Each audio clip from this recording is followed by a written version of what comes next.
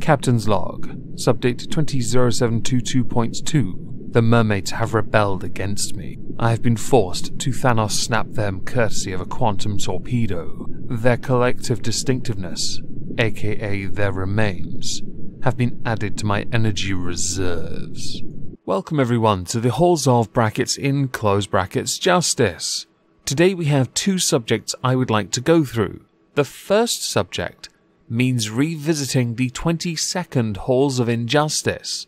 That particular Halls of Injustice was done on Mohammed Khan. Mohammed Khan lived in Camden, London, now lives in a prison. He was a coronavirus scammer who posed as the government to defraud people out of money and, of course, other personal details.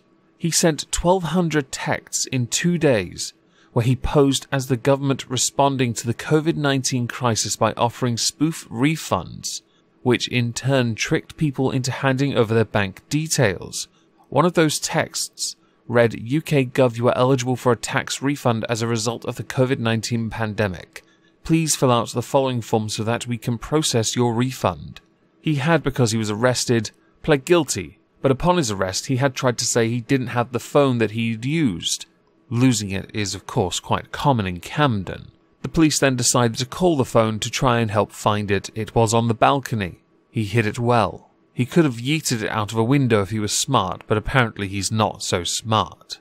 He managed to swindle £10,000 out of 49 people. His defense had tried to claim that he wasn't really trying to do anything because he was still living in abject poverty and that he didn't have new trainers on or anything. You don't suppose it's because he got caught really, really quickly, do you?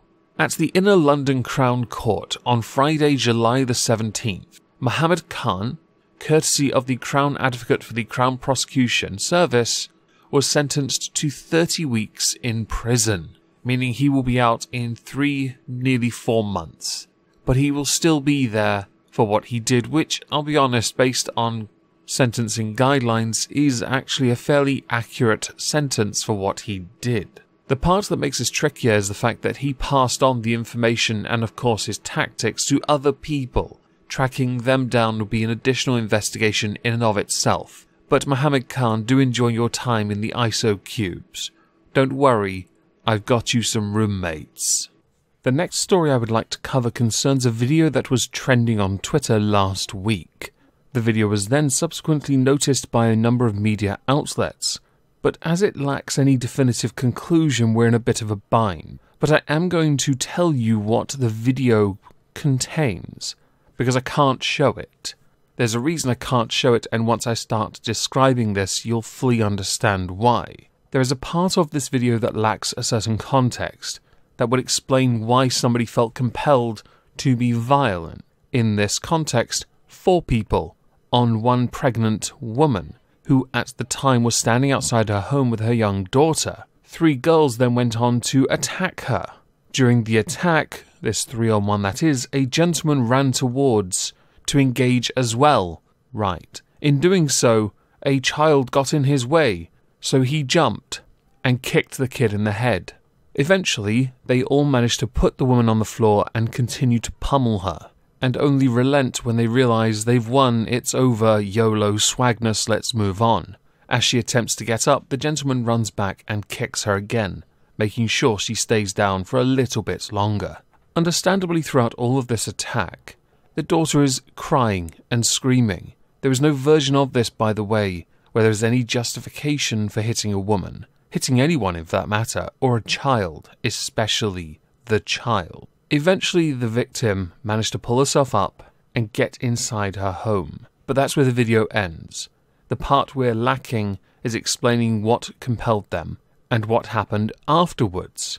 This happened in Brooklyn, Illinois, and the police were notified, but no names have yet been released. However, somewhat interestingly, the mother of the boy who flying kicked the kid and then went on to pummel the woman has spoken up and defended her son, which I find to be quite interesting. Only one of them had any reference to this particular post, but they redacted the name Much Sadness. I can't imagine why they would want to redact the name. The post reads, Watch your mouth, that's son. He didn't try to kick that baby, he tried to jump over the baby onto her and made a mistake. As y'all can see, the baby ran from under the girl fighting while he was coming down. My kid is not that type to kick a baby. Accidents happen, and all these treats stop it because his dad will be on in less than 20 days. Did anyone understand that? Because I'm struggling a little to fully understand how she's able to defend what her son did, and that he's not the type to kick a baby, but he did in fact kick a baby. At no point did he think, oh, let's just stop now so I can quickly apologize to this kid. No, no, no. He's thinking, I smell blood. Along with thinking, oh, whoa, I've already kicked a child. It's all up from here. At no point in this message do you address the fact that your son still kicked a woman. And I know there's going to be a context. That context has yet to be made public. But I'm going to say this now. There is no version of any context that would ever justify using physical violence to resolve any issue. There really isn't.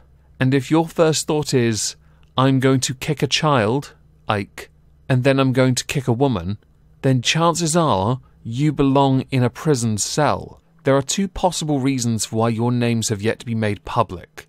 The first is your ages. You could well be below the age of 18, but that still doesn't justify your actions. The second is because of certain tension in the United States at this present moment, and putting people on blast for committing a crime that is seen on camera would be bad, even though the evidence shows you attacking a child and a woman. The two women that attacked the woman, they should also be arrested.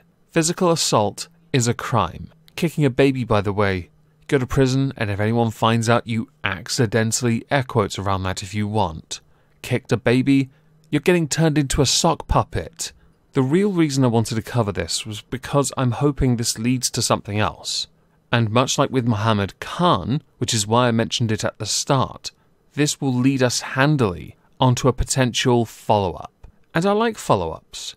They give us a great opportunity to fully cover a story that has yet to be completed. And with this one, I'm looking forward to seeing the excuses, if any bother to surface. The attack has already happened, but the most recent articles are still from seven days ago, meaning nobody is really interested. But I'm still going to keep an eye on Brooklyn, Illinois, just in case. With what they did, though, I'd like to know what you think. So please do let me know in the comments down below. If I don't see you on Twitch tonight for, I think, American Truck Simulator in the Thick Mac, yes, that's the name of my truck, I hope you all have a fantastic Wednesday, and thank you all for listening.